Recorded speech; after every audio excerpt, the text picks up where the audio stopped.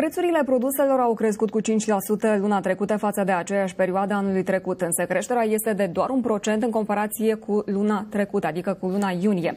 Majorările de preț vin ca urmare a scumpirii energiei electrice, dar și a gazelor naturale. Discut subiectul cu Emilian Duca, analist economic. Bună ziua! Bună ziua! Guvernatorul BNR Muguri Sărescu spunea că BNR se așteaptă ca inflația să ajungă la 5,6% la sfârșitul acestui an. Dumneavoastră, cum vedeți această estimare? Vom ajunge la acest nivel? Cred că sunt bune șanse să ajungem la acest nivel și, în primul rând, trebuie precizat că întrucât creșterile provin din zona de resurse energetice, creșterile de prețuri, acestea se vor propaga în economie și fără îndoială că se vor ajunge la un nivel uh, de inflație destul de ridicat în economie. Depinde acum de politica concertată a BNR-ului și guvernului pentru a ține în frâu inflația și pentru a limita uh, uh generarea unui fenomen inflaționist necontrolabil. Dar ce ar trebui să facă BNR-ul ca să țină în frâu această inflație? BNR-ul are la dispoziție politica monetară bazată pe uh, rata dobânzii și pe rezervele de, uh, depuse la bancă de către bănci, în timp ce rolul principal, cred eu, revine guvernului, acela de a ține sub control deficitul bugetar, aceasta fiind sursa principală a dezechilibrelor de pe, din, din zona care generează inflație și aș mai adăuga aici controlul asupra deficitului comercial.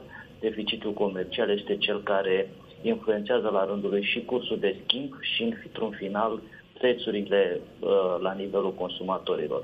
Aș mai adăuga un aspect.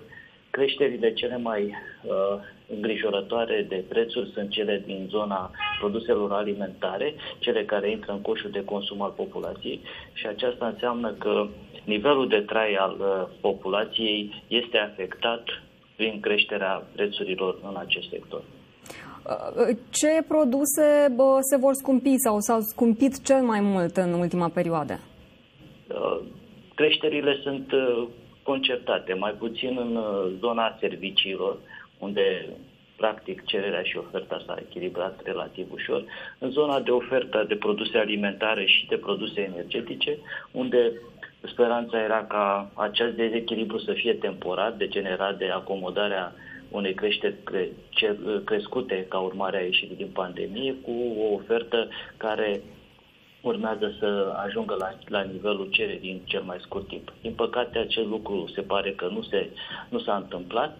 Aceasta înseamnă că vom avea în continuare creșteri în toate zonele uh, manufacturate, deci în zona în care se utilizează energie electrică sau, de, sau gaze naturale și vom avea pe de altă parte și o creștere inclusiv în zona produselor alimentare, chiar dacă produsele, producția agricolă este bună, așa se arată în uh, prognoze, uh, faptul că există creșteri de prețuri în zona gazelor și a energiei, în zona combustibililor, aici era zona critică, aceasta va genera la rândul uh, său o, crește, o creștere așteptărilor inflaționiste din partea uh, producătorilor agricoli.